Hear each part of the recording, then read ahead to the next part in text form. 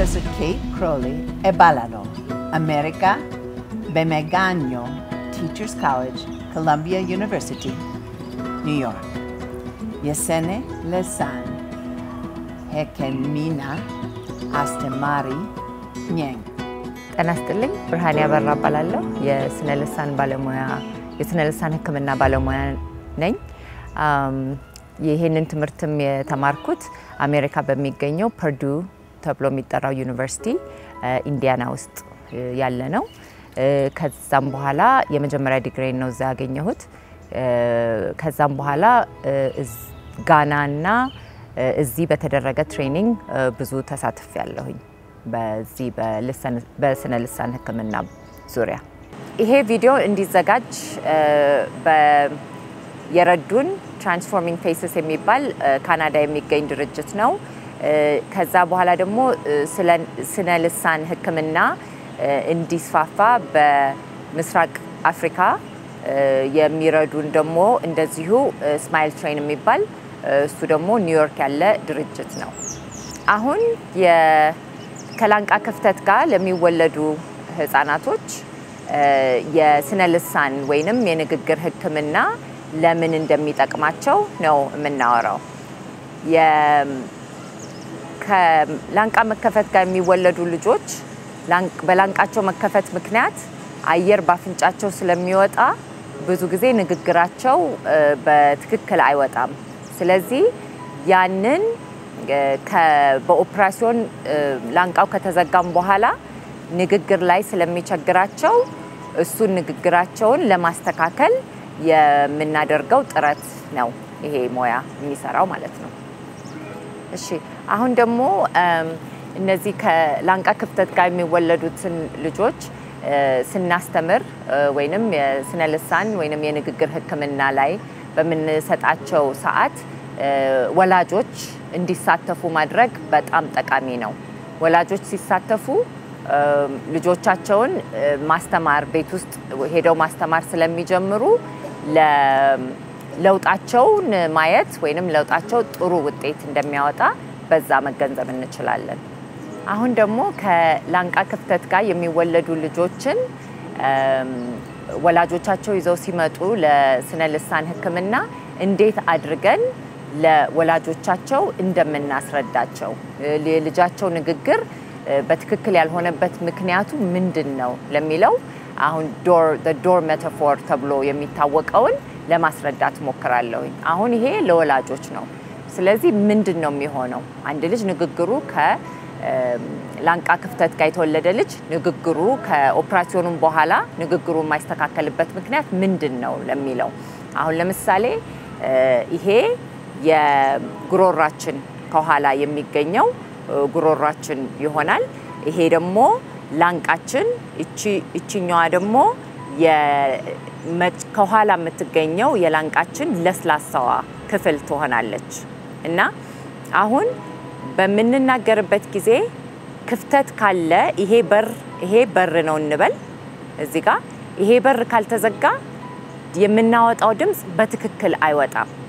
ስለዚህ በምንናገርበት ጊዜ በብዙውን ጊዜ በተለይ እነዚህ ኃይለኛ የአየር ግፊት የሚያስፈልጋቸው ድምፆች ብለን የምንጠራቸው እንደ ፕ፣ ት፣ ድ፣ ክ የመሳሰሉት ስንጠራ ይሄ በር መዘጋት አለበት።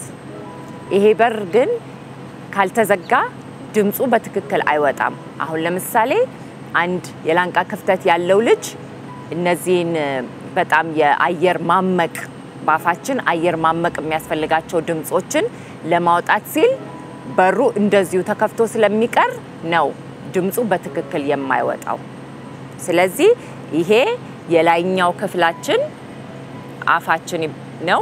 ከዛ ደግሞ የላይኛው አፍንጫችን ነው። ከዛ የታችኛው ደግሞ አፋችን ነው። በመሀል ያለው ነው በር ብለን የምንጠራው የአፍንጫ ክፍሉንና የአፍን ክፍል የሚለየው ማለት ነው ላንቃችን።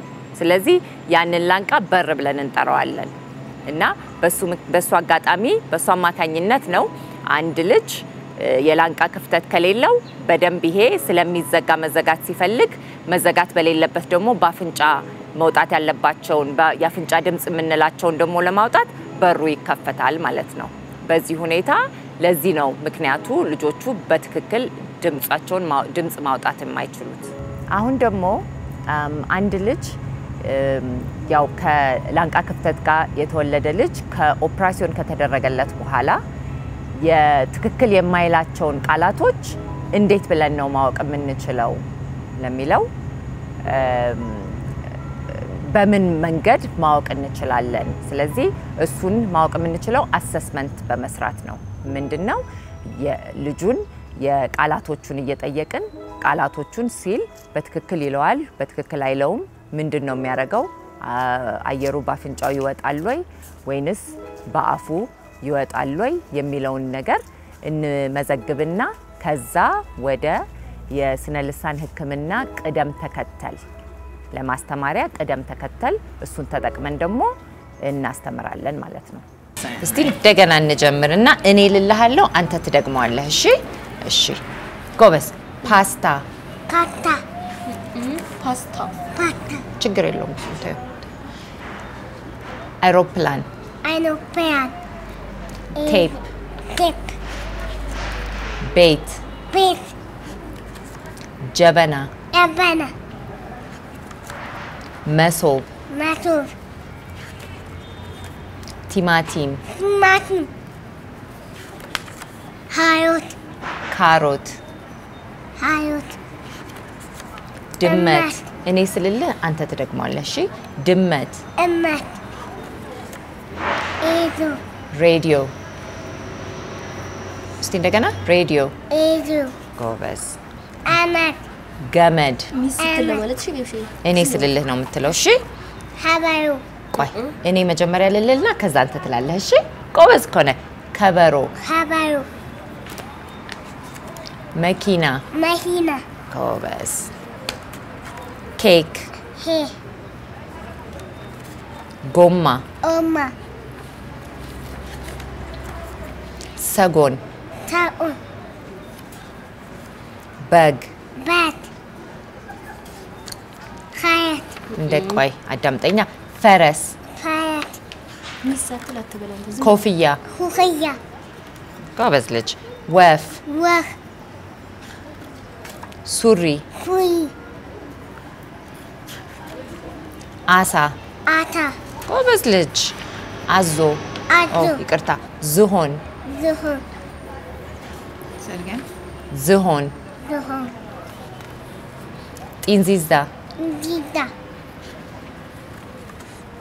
موز موز شراب شراب وشا وشا بروش بروش شبو شبو تنشل انشل انشل انشل دنج. دنج. جوجو اوجو اج. اج لابا. لابا. كويس مثلا مثلا فيل خيل دورو. دورو. بر. Bi. Lam. Lam. Nib. Nib. Papas. Papas. Indagana papas. Papas. Gowes. Lapis. Lapis. Tuto. Tuto. Kacene. Kacene.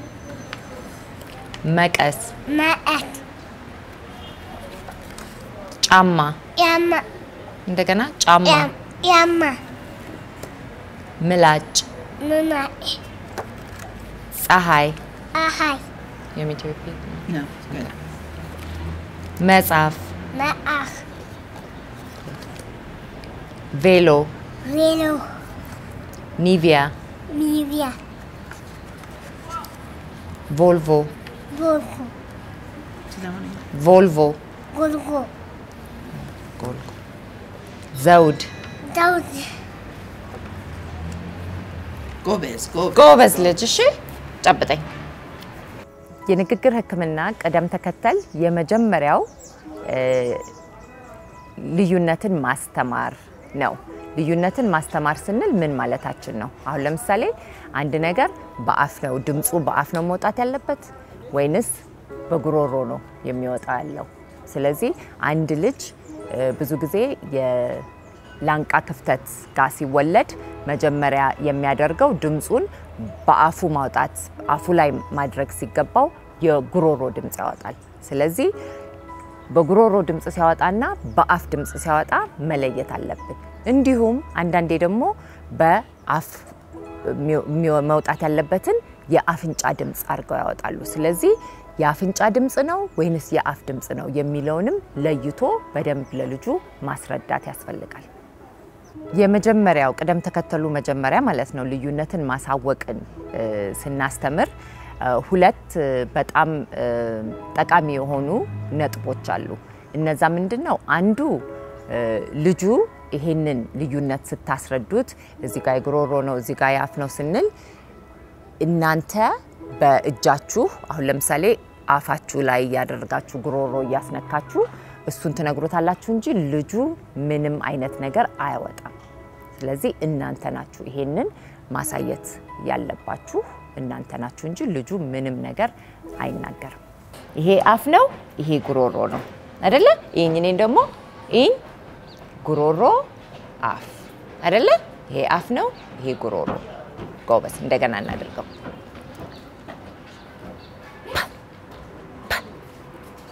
አሁን ታሳይኛለሽ። በዚህ ነው የወጣው፣ በዚህ ስዕሉ ላይ አሳይኝ። በአፍ ጎበዝ ልጅ ጎበዝ። እንደገና ከዚህ ነው የወጣው፣ ከዚህ ጎበዝ። እስቲ እንደገና እንሞክር። እስቲ ጎበዝ ጎበዝ ኢ ፕ ፕ ከዚህ ነው የወጣው፣ ከዚህ። ጎበዝ ልጅ። እንደገና። ከዚህ ነው የወጣው፣ ከዚህ። ጎበዝ እኮ ነሽ አንቺ። እ እ ከዚህ ነው የወጣው፣ ከዚህ። ጎበዝ ልጅ። እስቲ እንደገና አሁንስ። ከዚህ ነው? ከዚህ። ጎበዝ ጎበዝ ልጅ። ስለዚህ አሁን እስቲ አፍንጫ የታለ እዚህ ጋር አፍንጫ እስቲ ያሳየኝ። አዎ ጎበዝ። አፍ የታለ አፍ? ኦ አዎ ጎበዝ እኮ ነህ አንተ።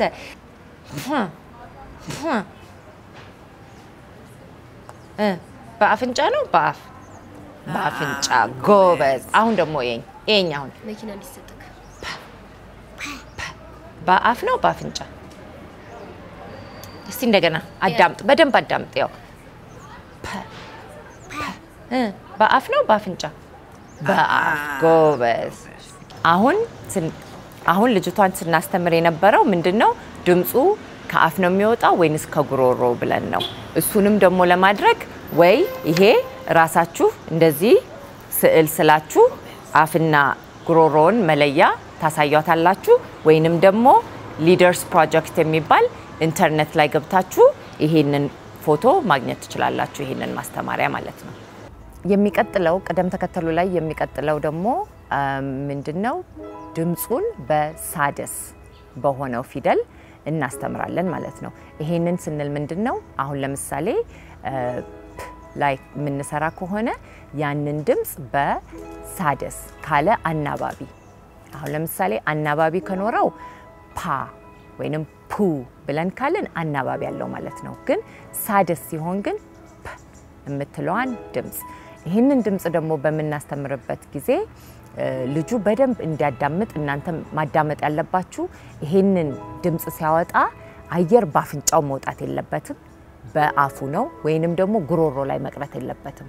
አንዳንድ ጊዜ ልጆች ይሄንን በሉ ስትሏቸው ሲሉ በጉሮሮ ነው። ስለዚህ እሱ ትክክል እንዳልሆነ ማስገንዘብ ይገባናል ለልጆቹ። አሁን እኔም ማድረገውን ነገር ታደርጊያለሽ። እሺ ይኛ እኔን ይኝ እጄ የት ነው ያለው? እጄ ነው እንደዚህ በያ አንቺ አዎ አንቺም እንደዚህ አይሾ እንደዚህ ታደርጊና እስቲ ጎበዝ። እንደገና ጎበዝ ጎበዝ። ሁለት እንደገና ኢን አፌኒው አፌኒው አፌኒው። ይሄ እየቆጠርኩ ነው። ይኸውልሽ አንድ ሁለት። እሺ አፌኒው ይኝ እኔ ይው ጎበዝ። እንደሱ ሶስት እንደገና ቀስ ብለሽ ይኝ ቀስ ብለሽ ጎበዝ። እንደገና ቀስ ብለሽ ጎበዝ ልጅ። እሺ እንደገና እንደገና እጅሽ እጅሽ ይው ቀስ ብለሽ ጎበዝ ጎበዝ። እሺ አሁን ወደሚቀጥለው እንሄዳለን። የሚቀጥለው ደግሞ ከድምፁን ከአናባቢ ጋር ከዚህ በፊት ያልነው ካላናባቢ ነው። አሁን አናባቢ እንጨምርበታለን። ይህንን ለማስተማር ደግሞ ከአናባቢ ጋር ብርሃኔ ዝዌል ብለን እ፣ የ- የሰራነው ማስተማሪያ አለ። ዘዴ ነው ይሄ ማስተማሪያ ዘዴ ምንድን ነው? አሁን ይሄ እዚህ ጋር ያለው ሳድስ ካላናባቢ ነው። ስለዚህ እችኛዋ ብለን እናስተምራቸዋለን። ከዛ ግን አናባቢ ያለውን ማስተማር ደግሞ ስንፈልግ አሁን ለምሳሌ ፕ ብለን ሳድሱን ያልነውን ወደ ፐ ፑ ፒ ፓ ፔ ፖ እያልን እያንዳንዱን ከአናባቢ ጋር እናስተምራቸዋለን ማለት ነው። ይሄንን በምናደርግበት ጊዜ ልጁ ለምሳሌ ይሄንን ፐ ሲል በትክክል ብሎ ፑ ጋር ስንደርስ ወደ ቡ ከቀየረው ማቆም አለብን እዛ ጋ ተመልሰን ወደ መጀመሪያ ወደ ሳድሱ ፕ ፕ ብለን እንደገና ማስተማር ይገባናል። ይሄንን ሁሉ በአንድ ጊዜ እዚህ ላይ ስላለ ሁሉንም ባንዴ ልጁ ይችላል ወይም ያውቃል ይማራል ለማለት አይደለም። ስለዚህ ጊዜውን ወስዶ ልጁን ማስተማር ያስፈልጋል። ይኸው ልክ እንደሷ ኦ ጎበዝ። እንደገና አ እስቲ እንደገና አ ጎበዝ። እንደገና ባ እንደገና ባ ነው። ፓ ባ ኦ አዎ ልዩነቱን አየሽውን? ፓ እስቲ እንደገና ባ አ ጎበዝ እስቲ ሄስ ፐ በ እስቲ እንደገና እዩ ፐ ፐ በ አይደለም ፐ ፐ ጎበዝ ጎበዝ ፐ በ አይደለም ፐ ፐ ፔ ጎበዝ እንደገና እንደሱ አ ጎበዝ እንደገና ጎበዝ አሁን ደግሞ ወደሚቀጥለው ቅደም ተከተል ስንሄድ በቃላት ነው። ቃላት ላይ ያንን ድምፅ የምንፈልገውን ድምፅ አሁን ከዚህ በፊት እንደ ምሳሌ ስንሰጠው የነበረው ቃል ወይንም ድምፅ ፐ ብለናል አይደለ? ስለዚህ አሁን ደግሞ ቃላት ፕ የምትለዋን ድምፅ የሚያካትት ቃላት ላይ እናስተምራቸዋለን ማለት ነው። እነዚህ ቃላቶች የቺ ፐ የምትለዋን ድምፅ ሲሆን ሌላው ቃላት ውስጥ ያሉት ድምፅ ግን ይሄ በጣም አየር ማመቅ የሚያስፈልገው ሊሆኑ አይገባም። ስለዚህ በዛ መሰረት ቃላቶች መጻፍ እና ለልጁ ማስተማር ያስፈልጋል። እነዚህ ቃላቶች ደግሞ ድምፁን ከቃሉ መጀመሪያ የቃሉ መጀመሪያ ላይ ድምፁ መምጣት አለበት። ከዛ ደግሞ ሌላ ቃል ላይ የቃሉ መሀል ላይ ከዛ ደግሞ የቃሉ መጨረሻ ላይ መምጣት አለባቸው ማለት ነው። ስለዚህ አሁን ለምሳሌ ለፐ ፕ ለምትለው ድምፅ እዚህ ጋር አሉን ቃላቶች ላነብላችሁ እችላለሁ። አሁን ለምሳሌ አይሮፕላን መሀል ላይ ነው ድምፁ የሚገኘው። ፓፓዬ መሀልም ከመጀመሪያም ይገኛል። ፖም አሁን መጀመሪያ ላይ ይገኛል ማለት ነው።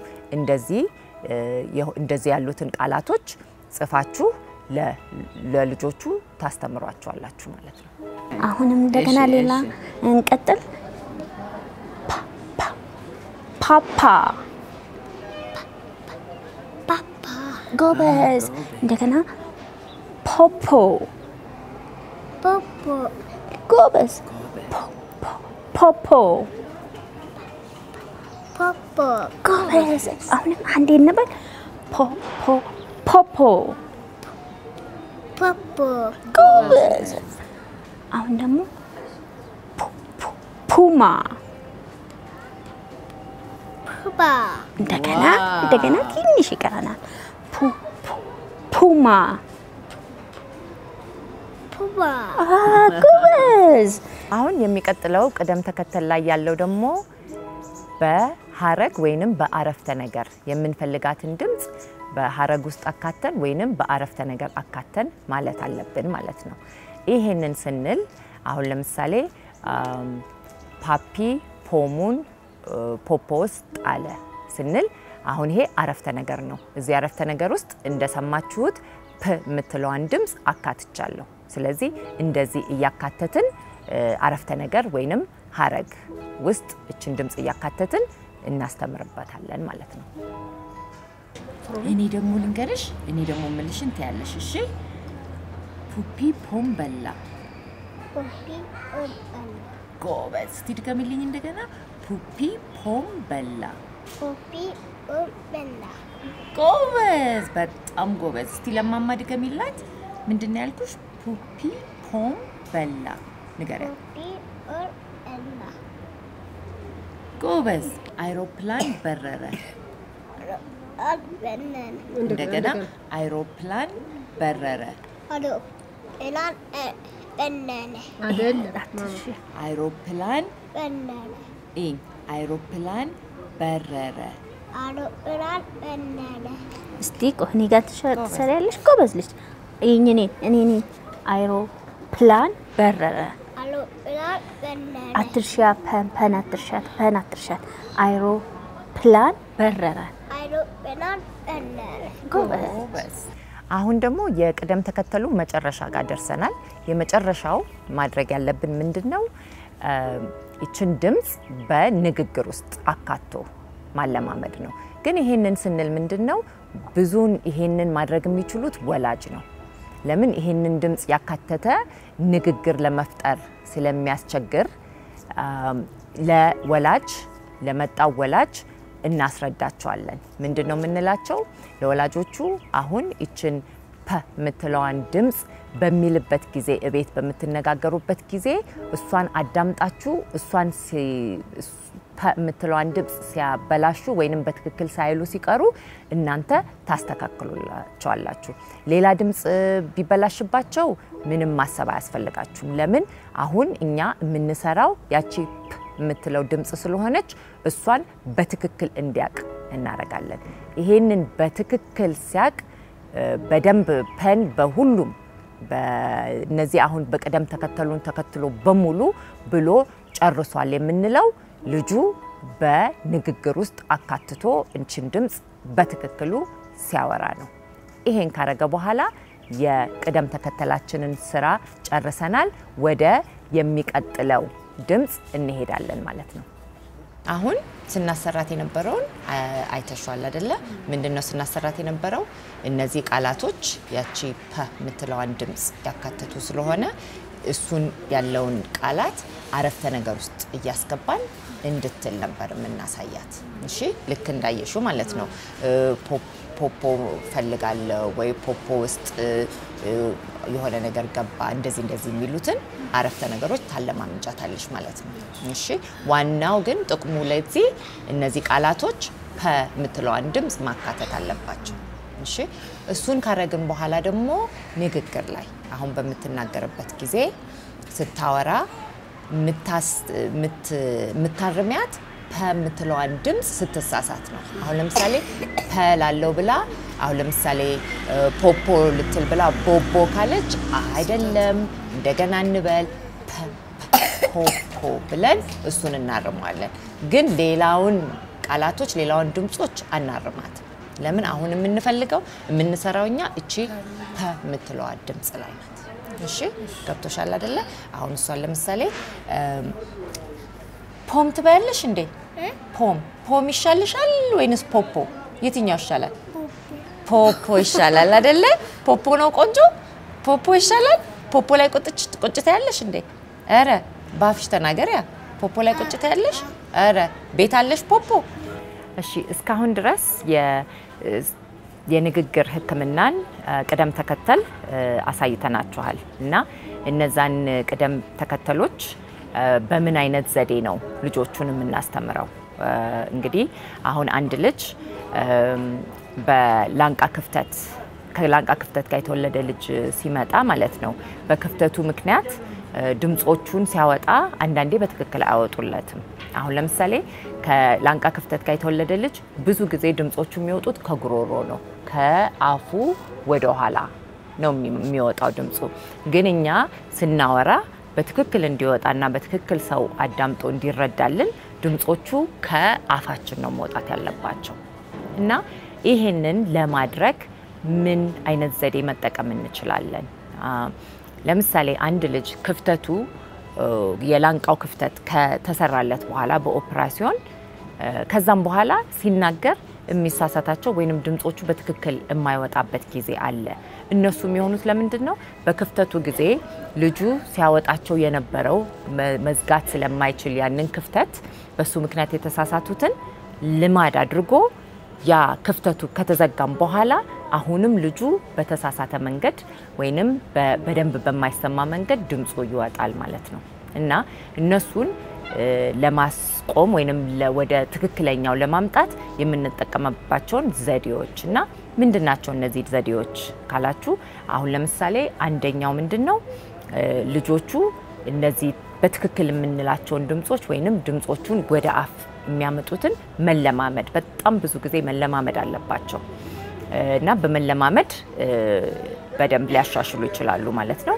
ሌላ ደግሞ ወላጆች ወላጆች ስለሆኑ በደንብ የሚረዱን ልጆቹን ለማስተማር ለማለማመድ እቤት ውስጥ በደንብ እንዲያስረዷቸው ወላጆቹ መጥተው ልጆቹን በምናስተምርበት ጊዜ ካጠገባችሁ ቁጭ አድርጋችሁ በደንብ ልጁ የምት- የምትሰሩትን እናንተ አይተው እቤት ሄደው እነሱም ካላስተማሯቸው ብዙ ለውጥ ልናይ አልችልም ልጆቹ ላይ። ስለዚህ በጣም በጣም አደራ የምለው አንደኛ ወላጆች እንዲኖሩና እነሱም አብረው እያዩ እንዲያስተምሯቸው ከዛ ደግሞ ልጁን በጣም ብዙ ጊዜ እንዲለማመድ መምከር ይገባቸዋል ማለት ነው። አሁን የንግግር ሕክምናን ለማስተማር የምንጠቀምባቸውን አንደኛውን ዘዴ እንያቸው። የትኛውን ዘዴ ነው መጀመሪያ የምናየው?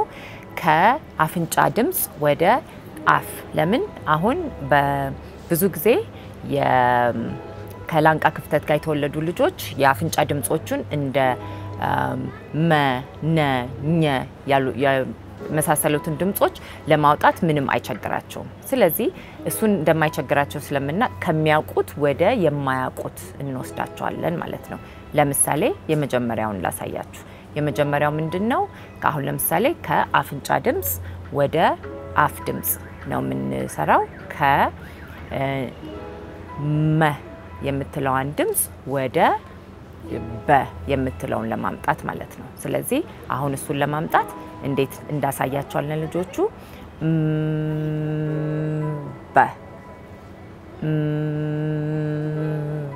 በ አሁን እንዳያችሁት ምስል አፍንጫዬን አልይዘውም፣ ግን እያልኩ አፍንጫዬን ሲይዘው አየሩን እንዲያምቁት ይረዳቸዋል ማለት ነው። እሺ አሁን ደግሞ ከ ከሚለው ወደ ፐ ከመ ወደ ፐ ደግሞ ስንመጣ እንዴት እናደርጋለን? ልክ አሁን እንዳሳየኋችሁ ፐ ፐ አያችሁ። አሁን ደግሞ ከመ የሚለው ድምፅ ወደ ፐ መን የመረጥንበት ምክንያት ፐና በን ለማድረግ መ ስንል ከንፈራችን መግጠም አለበት። ፐ በ ስንልም ከንፈራችን መግጠም ስላለበት ለነሱ ይቀላቸዋል። በዛውም ከንፈራቸው ምን ማድረግ እንዳለባቸው በዚሁ ያያሉ ማለት ነው። አሁን ደግሞ የሚቀጥለው የምናየው ምንድን ነው? ሌላ የአፍንጫ ድምፅ አለ። እሱ ምንድን ነው? ነ የምትለውን ነው። ነ የምትለውን አፍንጫ ድምፅ ደግሞ ተጠቅመን ምንን ለማስተማር እንጠቀምበታለን? ደ እና ተ ለማስተማር እንጠቀምበታለን። ስለዚህ እነሱን ደግሞ አሁን ላሳያችሁ። ስለዚህ አሁን እንደ እንደ አሁን እሱን እንዳያችሁት ከነ ወደ ደ የሄድ ነው። ሌላው የሚቀጥለው ደግሞ አሁን ከነ ወደ ተ ስንል ደግሞ እንተ እንተ አሁን ይህንን የተጠቀምንበት ምክንያት ቅድም እንዳስረዳኋችሁ ነ እና ደ ተ የሚሉት ድምጾች በሙሉ ምላሳችንን የምናደርግበት ላንቃችን አንድ ቦታ ላይ ስለሆነ ለዛ ነው እነዚህን ድምጾች የተጠቀም ነው። አሁን ደግሞ በሶስተኛውን የአፍንጫ ድምፅ የምንጠቀመው የትኛውን ነው? ቅድም እንዳልኳችሁ ኘ የሚለውን ነው። ኘን ደግሞ ለሁለት ሌላ ድምጾች እንጠቀምበታለን። እሱም ለምንድን ነው? ለጀ እና ቸ የሚሉትን ድምጾች ለማስተማር። አሁን እሱን ደግሞ አብረን እናያለን። ቸ ቸ አሁን ደግሞ ጀን እናያለን። ጀ ጀ አሁንም እንዳልኳችሁ ብዙ ጊዜ የኘ ለማለት ቸ ለማለት ጀ ለማለት አፋችንን ውስጥ የምናደርገው ሁኔታ እነዚህን ድምጾች ለማውጣት አንድ ቦታ ስለሆኑ ከሚችሉት እንጀምርና ወደማይችሉት እንጠቀማለን ማለት ነው። አሁን እኛቸው። ስለዚህ በል እስኪ። ጎበዝ። እንደገና? በ እንደገና? በ እንደገና? በ እንደገና? በ አምሉስ እንደገና? በ ጎበዝ። እሺ እንደገና? አስር ጊዜ ታስደርጊያለሽ። አይዞ እንደገና? OK። እንች። እሺ እንደገና? እንደገና ጮክ ብለሽ እንደገና? አሁን የሚቀጥለው ደግሞ ዘዴ ልናሳያችሁ ነው፣ የማስተማሪያ ዘዴ። ይሄኛው ዘዴ ደግሞ መቼ ነው የምንጠቀምበት? ልጆቹ አንዳንድ ጊዜ አንዳንድ በላንቃ ከፊት የላንቃችን ፊት ጋር ማለት ያለባቸውን አሁን ለምሳሌ ደ ወይንም ለማለት እነሱ ጫፍ ላይ ትተው መሀል ላይ ላንቃችን መሀል ላይ ሲያደርጉት ማለት ነው። ለምሳሌ አሁን ተ ለማለት ተ ሲሉ ማለት ነው። ወይንም ደ ለማለት ደ ሲሉ ማለት ነው። ስለዚህ ይሄንን ለማስወገድና ትክክለኛ ቦታ እንዲያመጡት ለማድረግ የምንጠቀምባቸው ዘዴ እንደዚህ ይመስላል ማለት ነው። አሁን ምን እናደርጋለን? እጃ ጣታችንን እዚህ ጋር እናሳይና ምላሳችንን አድርገን እንደ እንደ እንደ ወይንም ለተ ድምፅን ለማምጣት ደግሞ እንተ እንተ እንተ ብለን እናስተምራቸዋለን ማለት ነው። አሁን የምናሳያችሁ ዘዴ ደግሞ ብዙ ጊዜ ልጆቹ ድምፆቹን ከጉሮሯቸው ሲያወጡ ወይንም አየር በጣም የአፍ ድምፅ ለማውጣት አየር በጣም በአፍንጫ ሲሰርቅ እነዚህ እነዚህን አይነት ድምፆች በሚያወጡበት ጊዜ እነሱን ለማስተካከል የሚጠቅማችሁ ዘዴ ነው። አሁን ይሄ ዘዴ ምንድን ነው? የምትለዋን ድምፅ በመጠቀም ማለት ነው። ሀ በምንልበት ጊዜ አፋችን ሲከፈት ከጉሮሯችን አየሩ በደንብ ወደ ላይ እንዲወጣ ያደርገዋል እና እዚህ ጉሮሮ ላይ የሚያቆሙት አሁን ለምሳሌ የጉሮሮ ድምፅ ስንል አሁን ፐ ለማለት እ ሲሉ የጉሮሮ ድምፅ ያደርጉታል ማለት ነው። ይሄንን ቀጥ አድርገው እዚህ ጋር እንዳያስቆሙት አፍታ እንዲያስቆሙት የምንጠቀምበት ዘዴ መጀመሪያ በማስባል ነው። አሁን ይሄንን እንዴት ነው የምናደርገው? እጃችንም ደግሞ መጠቀም አለብን። እጃችንን ስንጠቀም ለልጆቹ በአፋችንንም ያሉ እጃችንም የምናደርገው ምን እያደረግን እንደሆነ ለነሱ ያሳያቸዋል። ሌላ ደግሞ እናቶች፣ አባቶች አብሮ ከልጁ ጋር የመጣውንም ደግሞ እነሱም አይተው እሱን ሲያረጉ እነሱም በደንብ እንዲረዱ ይጠቅማቸዋል ማለት ነው። ስለዚህ አሁን ለዚህ እንዴት ነው የምንጠቀመው? አሁን ለምሳሌ ፐን ለማስተማር ፐ የምትለዋን ድምፅ ለማስተማር በጉሮሯቸው አ የሚሉ ከሆነ ምን እናሳያቸዋለን? ከዚህ ጋር አየሩን ከታች ወደ ላይ እንዲወጣ እናደርግና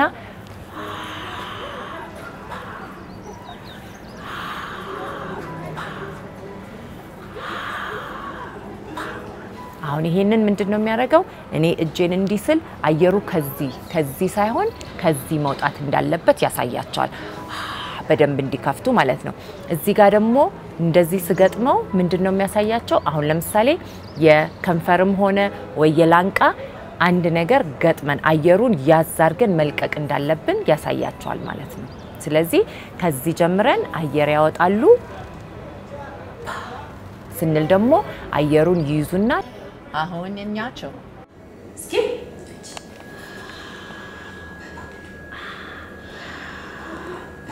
Hey.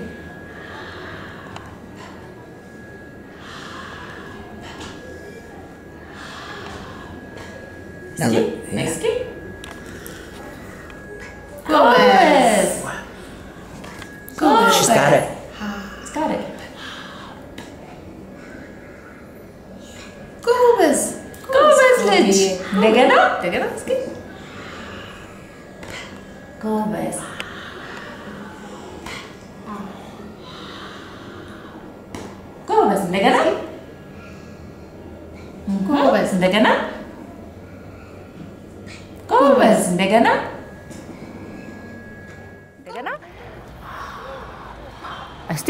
አስር እንቆጥራለን። እሺ አንድ እን- እንጀምር። ያው ከዚህ ጋር ይኸው አንድ እንደገና ሁለት ይህ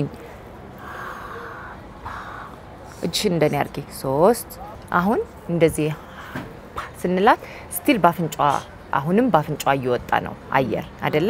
ስለዚህ እኛ ደግሞ አየር በአፍንጫዋ እንዲወጣ አንፈልግም፣ በአፏ እንዲወጣ ነው የምንፈልገው። እሺ፣ ስለዚህ እስቲ አሁን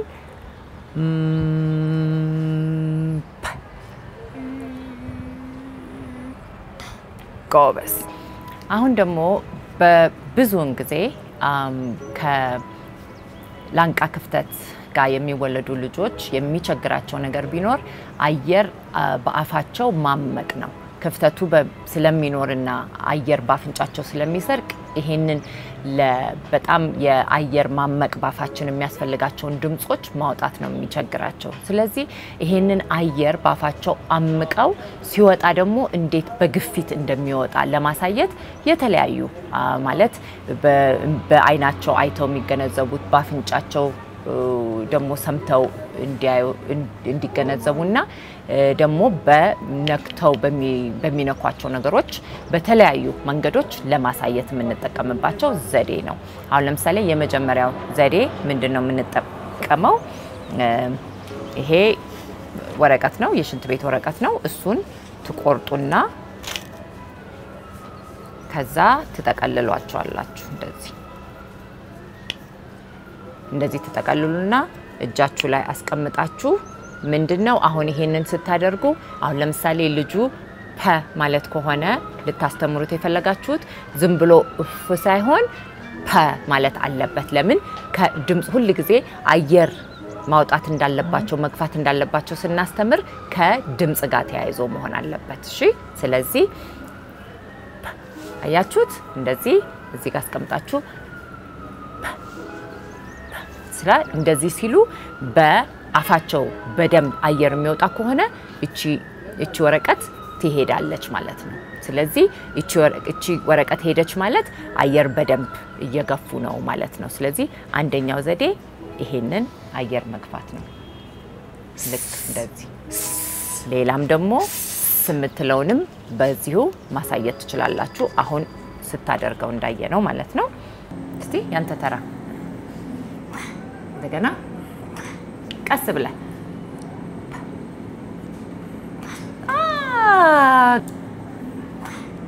ጎበዝ ጎበዝ። ሌላ መንገድ ደግሞ አሁንም በዚሁ በሶፍት መጠቀም እንችላለን። አሁን ይሄንን ይዘን አሁን እኔ በፐ አሳየኋችሁ እንጂ በሌላም መጠቀም ትችላላችሁ። በ በ በሱም መጠቀም ትችላላችሁ። ይሄ አየሩ ሲገፋው እንዲያዩት ማለት ነው። አየሩ በጣም ግፊት መኖር እንዳለበት እንዲገነዘቡ የምንጠቀምበት ነው። ልክ እንደዚህ ማለት ነው። ጎበዝ ልጅ በ እሺ ጎበዝ ልጅ እንደገና ፐ አይደለም የምፈልገው። እሺ በ አየው ያው በ አየው እንዴት እንደሚሄድ ያንተ ተራ ጎበዝ ልጅ። እስኪ ጎበዝ እስቲ እንደገና በ አይደለም ይሄ ይሄ ይሄ በ በ በ አየው ሲሄድ።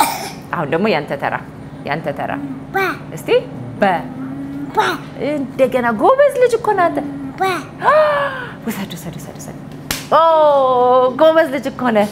ሌላ ደግሞ ማድረግ የምንችለው ግንዛቤ እንዲኖራቸው አየሩ በአፋቸው መውጣት ሲገባው በአፍንጫቸው እየወጣ መሆኑን እንዲገነዘቡ ለማድረግ ይሄ መስታወት ነው።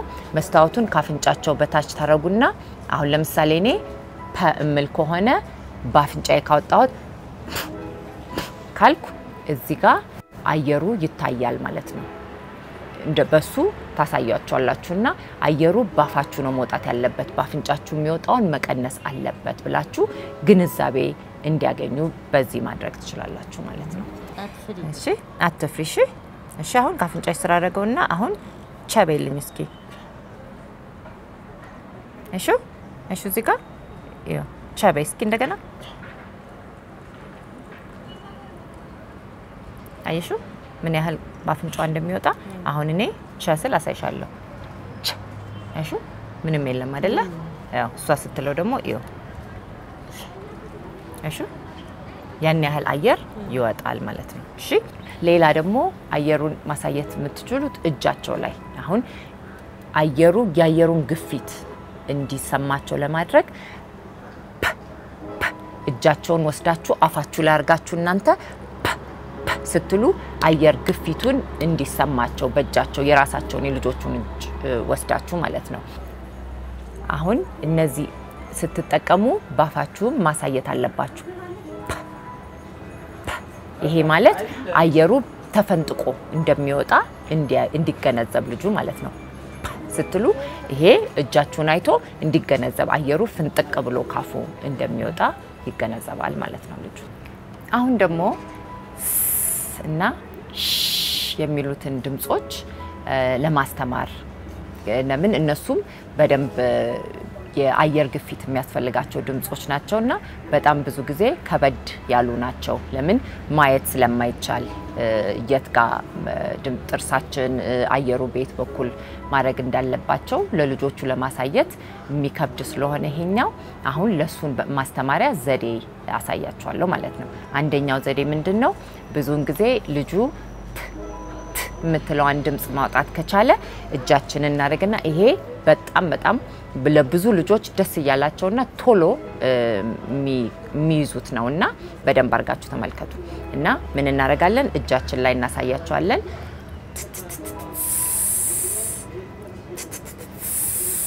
ይሄ ማለት ት የምትለዋን ድምፅ ተጠቅሞ ስ የምትለዋን ለማውጣት እንዲረዳቸው ነው።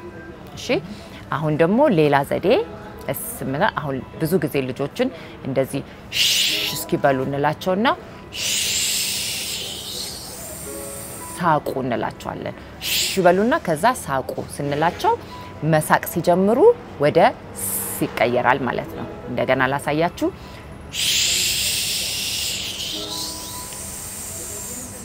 እንደዚህ በማድረግ መጠቀም ትችላላችሁ። ወይንም ደግሞ መጀመሪያ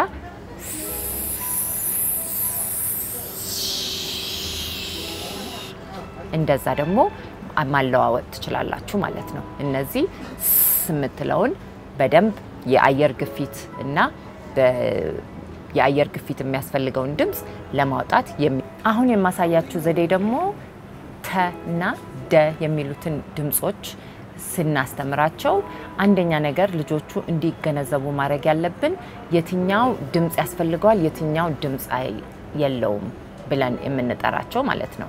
እነዚህ ድምፆችን በምንድን ነው የምንለያቸው? አሁን ለምሳሌ ድምፅ ያለው ብለን ካልን አሁን ለምሳሌ ደ ስንል እዚህ ጋር እነካለን እና ደ ደ ስንል እዚህ ጋር ይነቃነቃል። እሱ ሲነቃነቅ ማለት ልክ የመኪና ሞተር እንደ- እንደከፈትን አድርገን እናስረዳቸዋለን። ከዛ ደግሞ እሱን ደ እንደሚሉ እንዴት እንደሚሉ እንዲገነዘቡ ማለት ነው። ከዛ ደግሞ ተ ሲሉ ደግሞ እዚህ ጋር አድርጉ እንላቸውና ት ት አይነቃነቅም። ራሳችሁ መሞከር ትችላላችሁ።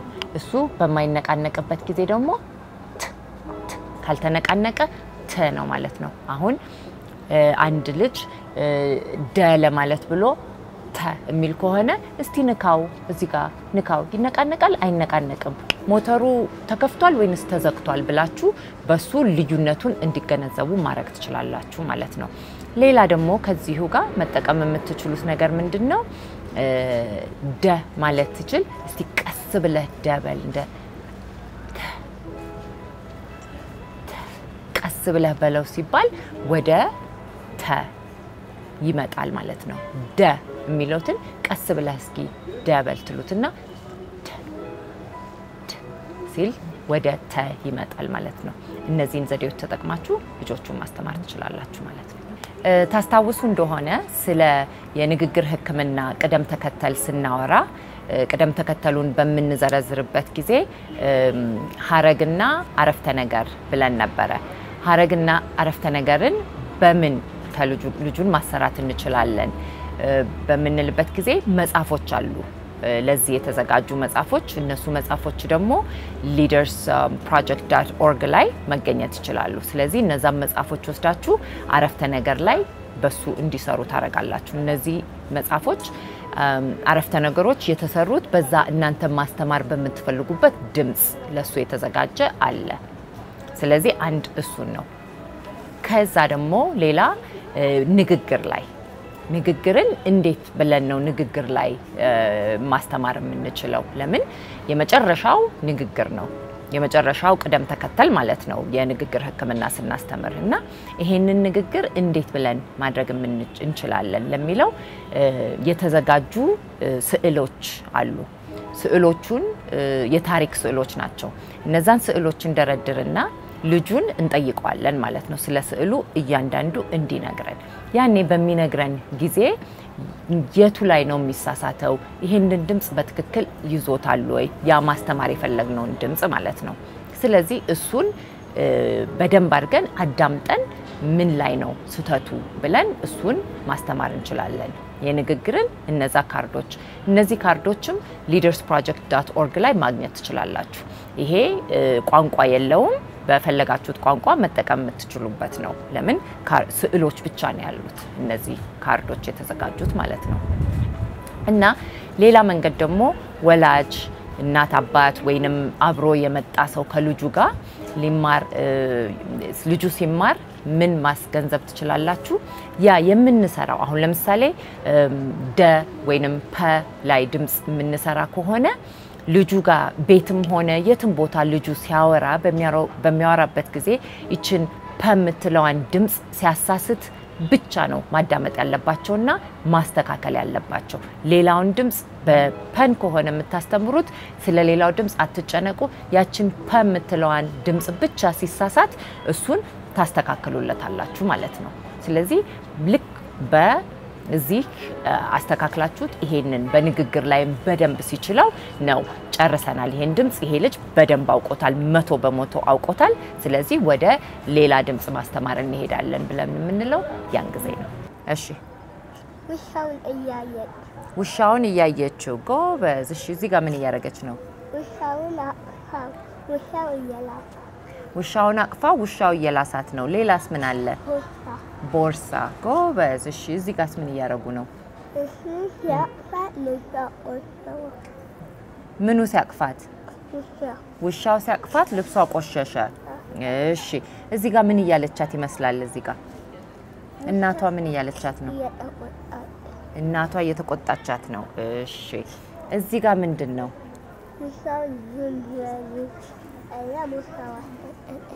ውሻውን ዝም በል ብላ ቦርሳ ውስጥ ከተተችው። ጎበዝ። እዚህ ጋሳ ምን እየሆነ ነው?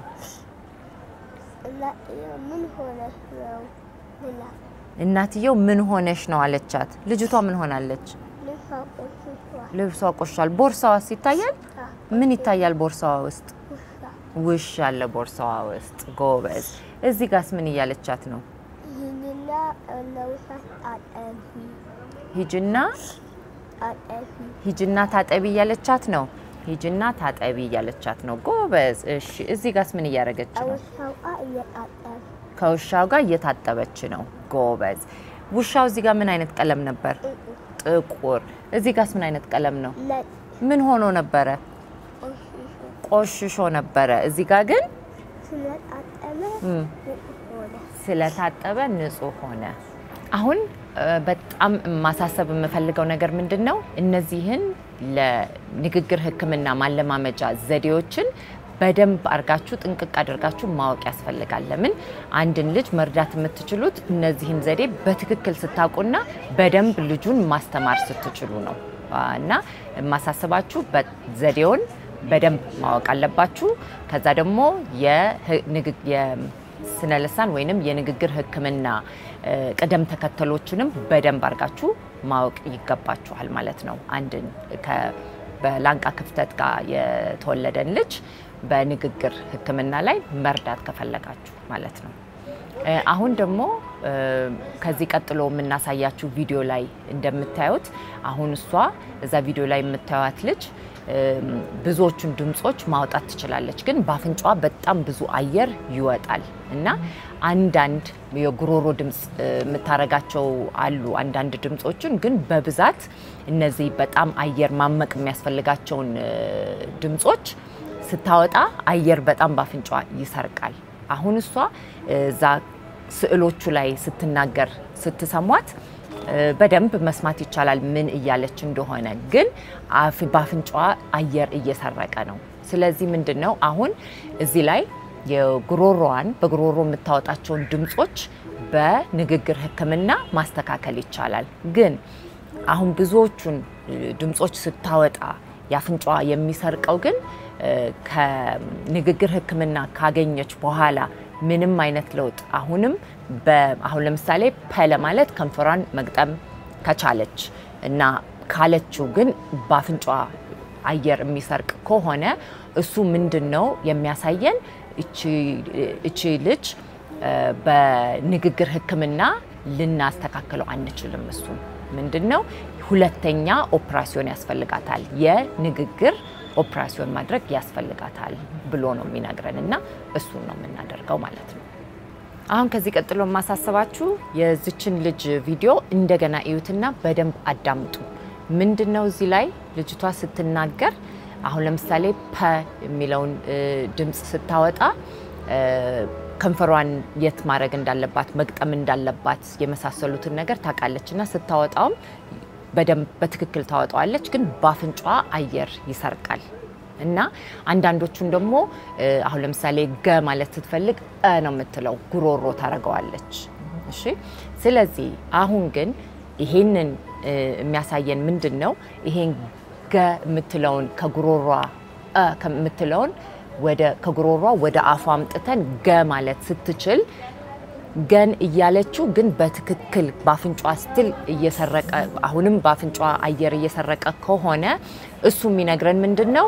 ይሄ ነገር የንግግር ሕክምና ብቻ ሳይሆን የንግግር ኦፕራሲዮን ማለት የንግግር ኦፕራሲዮን ማድረግ ያስፈልጋታል ወደሚለው ነው የሚወስደን ማለት ነው። ስለዚህ በደንብ አድርጋችሁ አዳምጡ። ሌላ ላሳስባችሁ የምፈልገው አሁን ደግሞ ሌላ ህፃን ልጅ አሁን እናሳያችኋለን። እዛ ላይ ቪዲዮ ላይ የምታዩት ህፃን ልጅ ፐ ሲል በደንብ ይላል። ፐን በደንብ አድርጎ ማለት ይችላል። ከንፈሩን የት ማድረግ እንደሚችልበት ከዛ ደግሞ በአፍንጫው አይሰርቅም አየር። አሁን ይሄ የሚያሳየን ምንድን ነው? ይሄ ልጅ አሁን የሌላ ኦፕራሲዮን ሁለተኛ አያስፈልገውም።